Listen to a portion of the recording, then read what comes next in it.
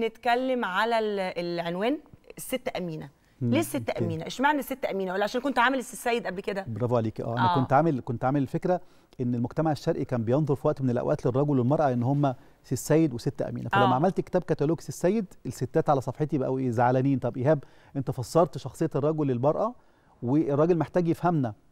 فقلت لهم يا جماعة والله العظيم هعمل كتاب كتالوج ست امينه ما حدش هيشتريه. الرجالة مش عايزة تعرف عنكم حاجة ولا بتدور. وكانت النتيجة فعلا كده. آه. يعني لو تلاحظي الفرق الرهيب ما بين نجاح كتاب كتالوج سي السيد وكتالوج ست امينه 10 أضعاف تقريبا. من منطلق إن الرجل المرأة اهتمت واشترت كتالوج سي عشان تفهم الراجل. آه. الراجل ما اهتمش عشان آه. يفهم الست.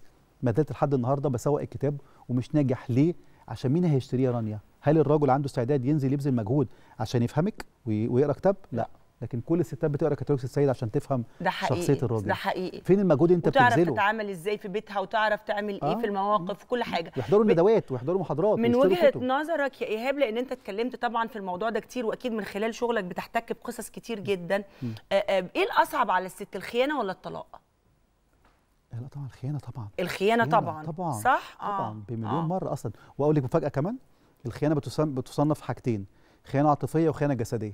صح كده؟ الرجل الرجل متخيل إن لو هو عمل خيانة جسدية أصعب على المرأة من الخيانة العاطفية. على العكس تماما. بعد دراسة طويلة جدا جدا اكتشفت إن الخيانة العاطفية عند المرأة أصعب من الخيانة الجسدية تخيلي حقيقي. بتظن إن الخيانة الجسدية هي نزوة ولحظة ضعف لكن. الخيانة العاطفية هي انهيار المشاعر وقصه الحب اللي بينها وبين جوزها. تخيلي